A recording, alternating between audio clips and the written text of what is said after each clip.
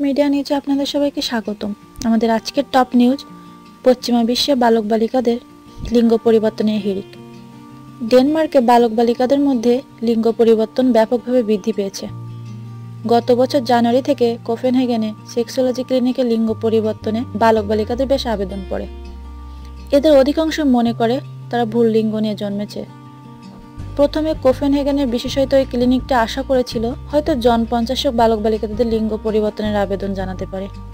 কিন্তু ছয় মাসের মধ্যে দেখা গেল আবেদনকারীর সংখ্যা একশো তিরিশ জনে বৃদ্ধি পেয়েছে।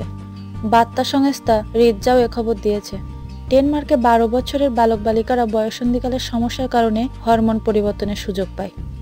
ব্যক্তিগত অঙ্গের আকার বৃদ্ধি, অনিয়মিত মাসিক, নিয়মিত বা দাড়ি কোপ জন্মানোতে অনেকেই হরমোনের সাহায্য নেয়।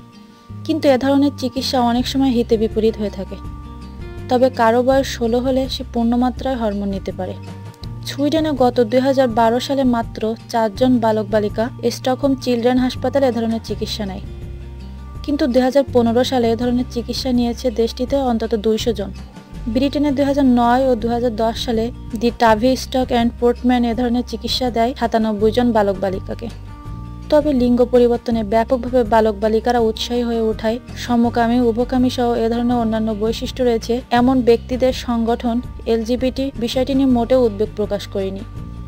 সংগঠনটির মুখপাত্র লিন্ডা থোর পেডারসন বলেছেন, এ ধরনের লিঙ্গ পরিবর্তনের আবেদন বৃদ্ধি পাওয়ার কারণ হচ্ছে বিশেষায়িত চিকিৎসার সুযোগ এসেছে বিলম্বে। যতক্ষণ না বয়সন্ধিতে এসে কেউ কোনো সমস্যায় না পড়ছে, ততক্ষণ সে চিকিৎসকের শরণাপন্ন হচ্ছে না। কিন্তু চিকিৎসার সুযোগ রয়েছে এটা জেনেও অনেকে আগে ভাগে তা গ্রহণে উৎসাহী হয়ে উঠেছে। আমাদের এই ভিডিওটি যদি ভালো লেগে থাকে, তাহলে প্লিজ সাবস্ক্রাইব করুন।